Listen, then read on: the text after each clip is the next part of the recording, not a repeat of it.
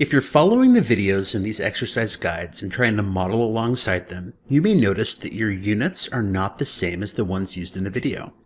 The ones used in the videos are typically in millimeters. And so if you want to follow along, the easiest thing to do is just to change the units you're working in to millimeters. To do that, open any new part file, and then go to File, Properties, Units, and then select millimeters from the dropdown. Now, file properties apply only to the specific part or sheet metal part or assembly file that you have open. And you don't want to have to do this every single exercise. So what you'll do is you'll come down here and check the set current settings as the default settings for new parts, sheet metal, and assemblies. Press apply.